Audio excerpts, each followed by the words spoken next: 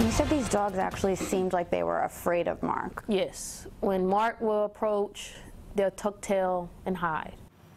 Complaints against an Apex nonprofit continue to pile up tonight.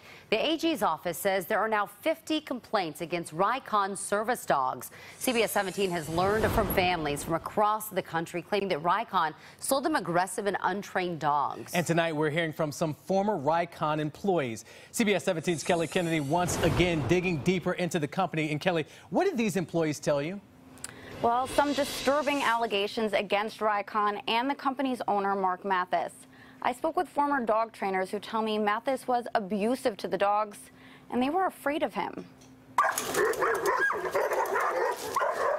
Brian Berry took this video on his first and last day working as a trainer for Ry-Con service dogs. The thing that shocked me the most was like the kennel aggression. In the mornings we would come in and I guess the, the protocol was to walk, you know, each dog individually out to their dog run. And when you're doing that, there's dogs in kennels trying to get at the dogs that you're walking and, and just stuff that, that service dogs aren't supposed to do. Berry has worked as a professional dog trainer for years and knew immediately that something wasn't right right at Ry-Con. The dog can't do simple things like sit, stay, walk in a hill.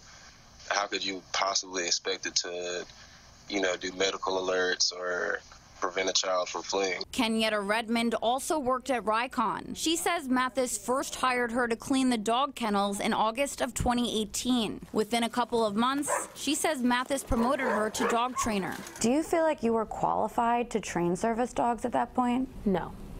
I wasn't I didn't have no clue what I was doing. Redmond says she witnessed a lot of disturbing things, but the worst part, Mathis's training techniques. His method to gain a dog's attention was to flip the dog, which means flip the dog on the back, on his back. He'll put his knee on their head or on their throat and he'll stretch their legs up to behind their head and they will be crying. Would you say he was abusive to these dogs? Yes, I will say that.